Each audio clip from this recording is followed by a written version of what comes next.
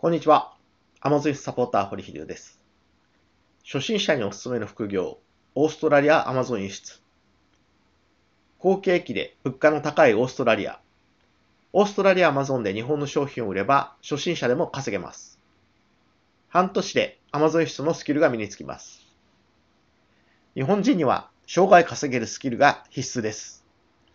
物価の安い日本に住んでいるなら、インターネットを使った物販ビジネスのスキルを身につけるのが一番です。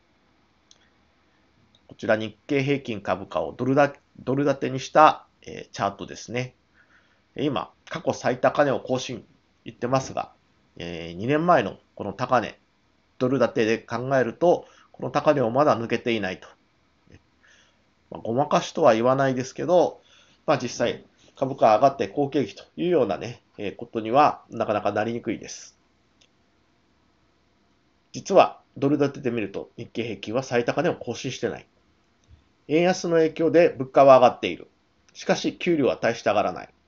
日本円以外の外貨を稼ぐ手段を持たないと生活は厳しくなるばかりです。今、1ドルは、1オーストラリアドルは98円73銭です。これ過去5年間のグラフを見るとね、上がり下がりはあるものの、だいたい右肩上がりで、えー、オーストラリアドルは強くなっていると。オーストラリアアマゾン輸出には円安も追い風です。今からアマゾン輸出を始めて、今年は自分で稼げるスキルを身につけましょう。まずは無料相談を受けてください。2月29日まで無料相談受付中です。こちらにメールアドレスを入力して、無料相談を受けてみるをクリックしてください。え、返信、私の方から、ね、スケジュール打ち合わせ等の返信をします。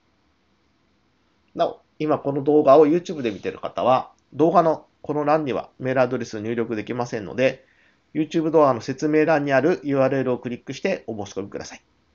日本に住んでるなら、オーストラマゾン室で稼がないともったいないです。